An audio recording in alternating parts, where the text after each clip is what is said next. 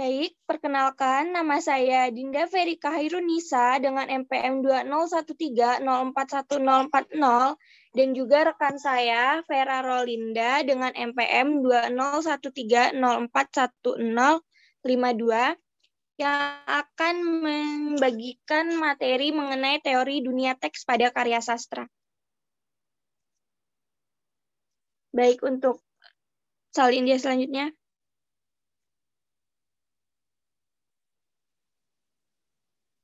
Baik untuk yang pertama, yaitu ada pertanyaan, apa itu teori dunia teks? Untuk teman-teman yang ingin menjawab, disilahkan untuk menghidupkan pelantang suaranya. Sansan Dinda. Baik, silakan Sansan. Apa yang Sansan ketahui tentang teori dunia teks? Teori dunia teks, uh, menurut saya itu uh, seperti teks yang menghasilkan perbedaan awal di antara uh, dunia wacana dengan dunia teks menghasilkan perbedaan di antara dunia uh, wacana dan dunia teks. Seperti itu, Dinda. Baik. Untuk yang selanjutnya, apakah ada yang ingin menjawab apa itu teori dunia teks? Silakan untuk Anda. Baik, silakan Husnul. Baik, sebelumnya izin memperkenalkan diri. Nama saya Husnul Hatimah dan NPM 20130411042. Menurut saya, teori dunia teks merupakan sebuah konsep yang terbangun di dalam pikiran seorang individu mengenai suatu informasi yang dipahami olehnya.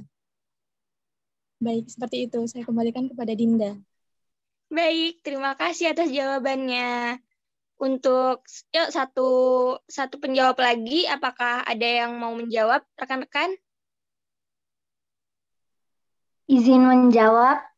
Uh, Teori dunia teks oh, Teori dunia teks merupakan eksposisi tentang bagaimana pembaca dan pendengar secara mental membangun dunia seperti itu e, sebagai sana menafsirkan wacana dalam konteks. Sekian saya kembalikan. Baik, terima kasih untuk Sansan, Husnul, dan Hani yang telah menjawab. Berikutnya akan saya jelaskan mengenai teori dunia teks. Slide selanjutnya. Baik, menurut Word tahun 1999 halaman 7, ia mendefinisikan teori dunia teks sebagai skenario konseptual yang mengandung informasi yang cukup untuk memahami ucapan tertentu. Sifat kognitif dari teori ini dibuat jelas oleh Word dalam klarifikasinya tentang perlunya tiga elemen yaitu penulis, teks dan pembaca dalam penciptaan dunia teks. Dunia teks tidak muncul sampai masing-masing dari ketiga elemen yaitu penulis, teks, dan pembaca yaitu hadir. Hal ini disampaikan oleh Word, Word tahun 2007 halaman 155. Selanjutnya, Penulis hanya membuat teks dan penulis akan memiliki dunia teks tertentu yang di pikirannya. Tetapi tidak ada jaminan sama sekali bahwa pembaca akan berhasil menghasilkan dunia teks yang sama saat membaca teks tersebut. Pada intinya, teori dunia teks adalah eksposisi tentang bagaimana pembaca dan pendengar secara mental membangun dunia seperti ini sebagai sarana menafsirkan wacana dalam teks. Selanjutnya,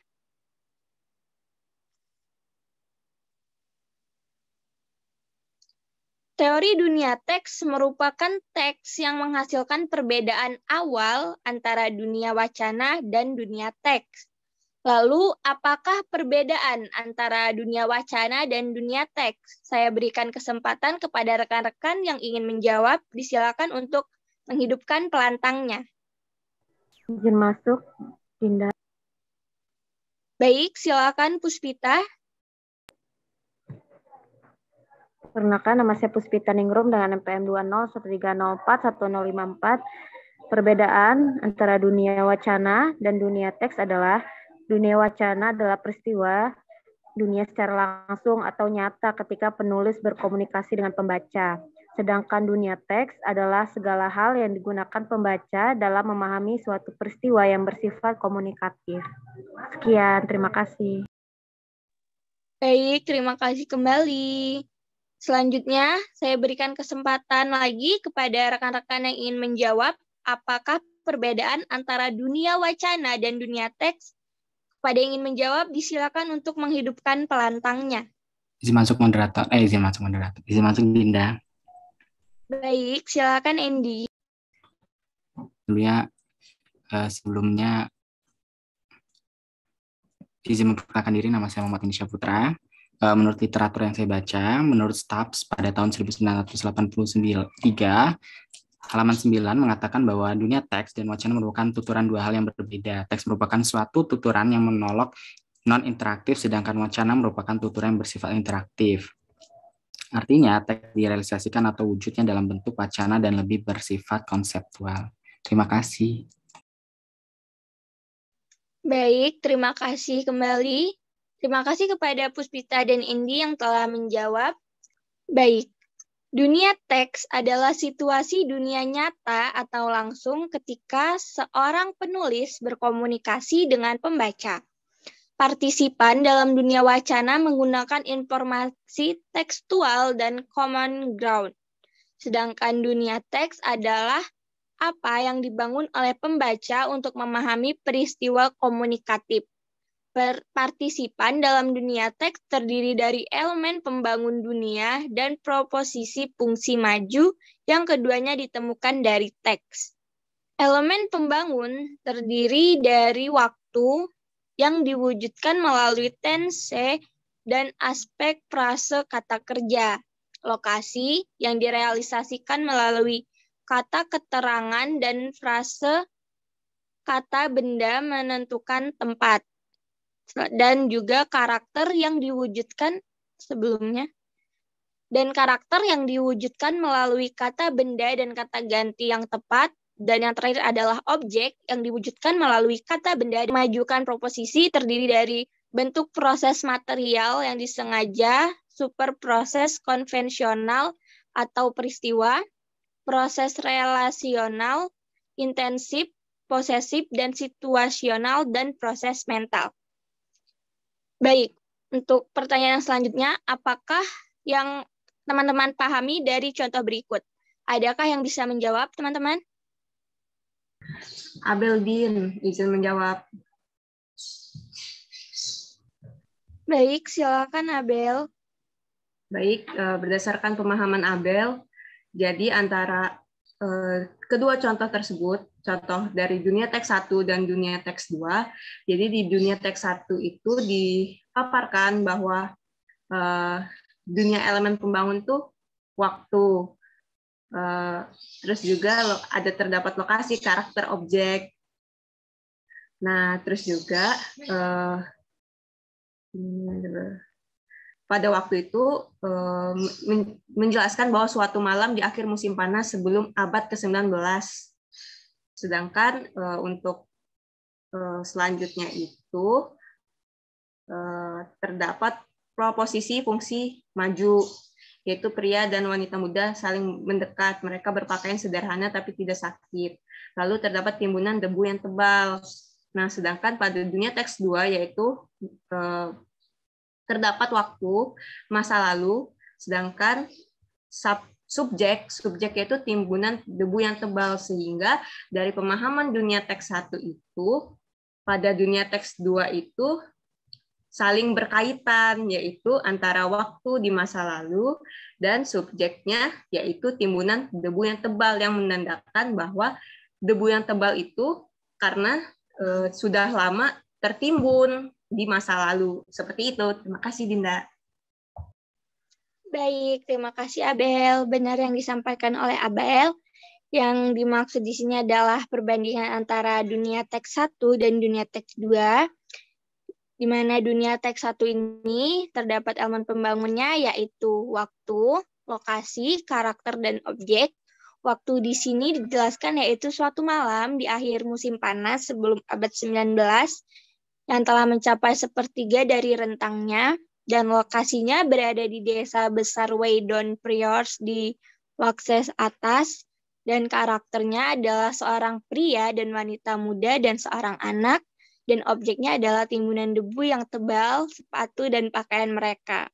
Dan di sini terdapat proposisi fungsi maju di mana pria dan wanita muda kemudian mereka saling mendekat, lalu mereka berpakaian sederhana tapi tidak sedang sakit, dan terdapat timbunan debu yang tebal.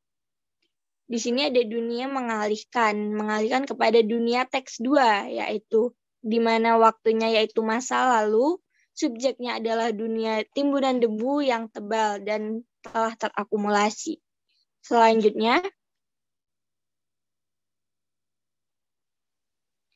dunia teks satu dihasilkan oleh yang ketiga orang ini melewati narasi sederhana dan termasuk karakter pemuda dan wanita dan anak serta spesifikasi lokasi dan waktu karakteristik sepatu, dan pakaian aktor dan debu tebal. Namun, masa lalu yang sempurna kata kerja telah terakulum, terakumulasi mengharuskan pembaca untuk menghasilkan dunia teks kedua di mana debu menumpuk di sepatu pemuda itu dan wanita. Baik, sekian materi mengenai teori dunia teks yang dapat saya sampaikan. Lebih kurangnya saya mohon maaf saya akhiri. Saya ucapkan terima kasih. Monggo, kalau misalnya ada yang ingin tanyakan. Kan tadi belum ada kesempatan untuk bertanya kan? Malah ditanya mulu. Uh, Bapak. Di, silakan catat, Di. Ya. Baik, silakan kepada Mbak Vila. Uh, sebenarnya ini bukan pertanyaan, tapi mungkin lebih ya bisa jadi pertanyaan bisa enggak. Uh, jadi tadi tuh pas pemaparan dunia teks itu kan ada materi mengenai dunia teks satu dan dunia teks dua. Itu uh, kelompok satu eh kelompok sebelumnya itu harusnya ada narasinya enggak?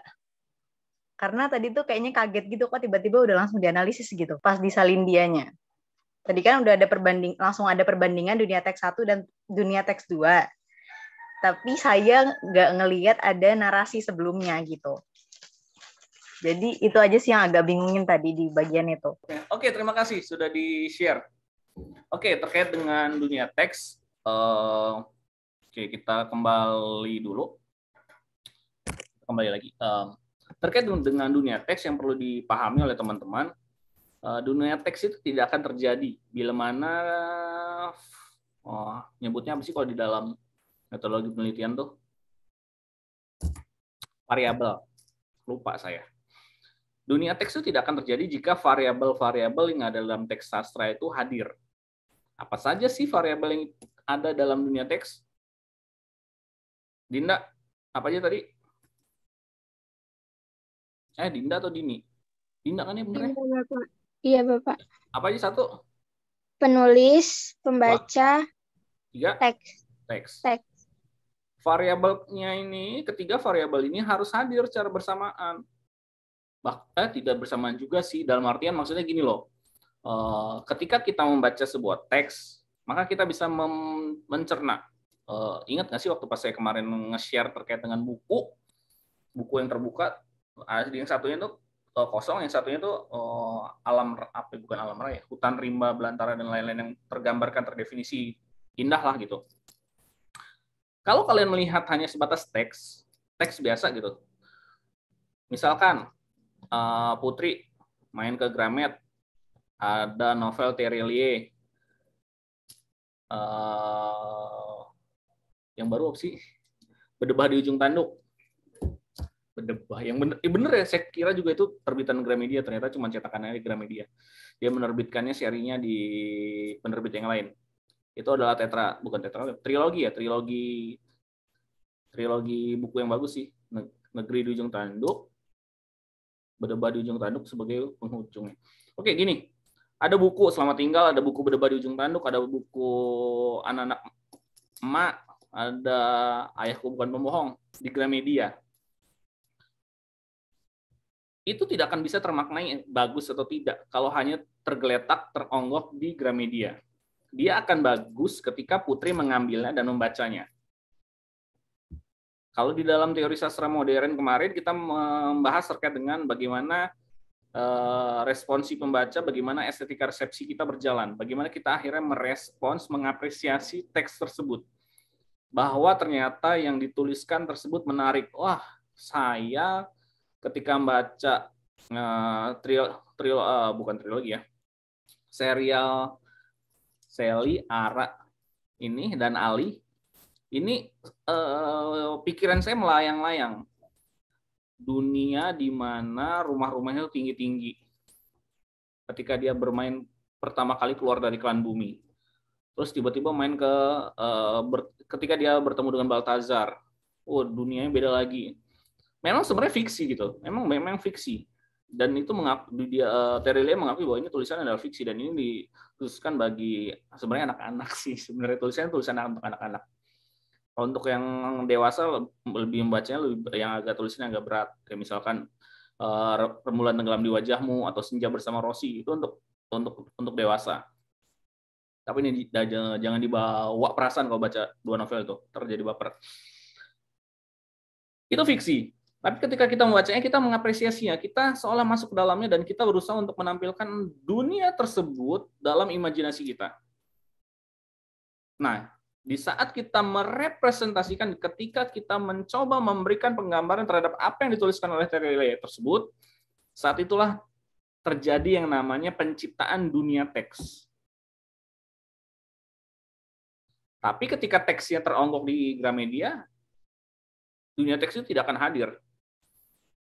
Karena teksnya tersebut ya hanya sebatas teks, tidak bisa termaknai, tidak bisa diejawantahkan, tidak bisa tergambarkan dengan baik. Maka ketika tadi bicara materi teori dunia teks, Binda mengatakan variabel itu ada tiga. Ada teksnya tersendiri, ada pembacanya. Penulis di sini bukan artian penulis yang hadir di depan kita dan membersami kita ketika kita membaca, tidak. Penulis itu adalah yang diartikan di sini adalah variabel penulis. Ketika menulis, penulis itu akan selalu menghadirkan something dalam bukunya. Nah, nanti variabel teks dan variabel pembaca akan berusaha menangkap, memaknai, merespon, dan mencoba mengindahkan apa yang disampaikan oleh pengarang tadi. Sederhananya seperti itu terkait dengan dunia teks. Maka kalau misalnya bicara tentang misalkan puisi gitu, si kawinkah dihadapkan kepada kalian yang di awal-awal semester baru, masih semester 1, dikasih puisi mak jelas gitu. Apa itu puisi? Pasti kalian sepakat bahwa itu adalah bukan puisi. Aneh gitu. Nggak bisa memaknainya gagal paham seperti itu. Akhirnya dunia teksnya tidak tercipta. Tapi sekarang ketika kalian dihadapkan lagi dengan si kawin apakah mengerti. Ntar dulu butuh referensi lagi karena uh, emang nggak mudah memahami sebuah teks sastra nah itu terkait dengan dunia teks sederhananya seperti itu Mengapa saya buat sederhana? Karena saya tidak ingin kalian terjebak dalam kodifikasi terkait dengan teori. Takutnya kalian terjebak dengan jelimetnya bahasa teori. Saya ingin kalian uh, membuat nyaman dan membuat santai ilmu sastra. Karena ya memang abstrak sih. Makanya kalau misalnya kalian tanya Bu Ayu tuh, dulu gimana kuliah dengan Pak Kavi? Jawab Bu. Mengulang.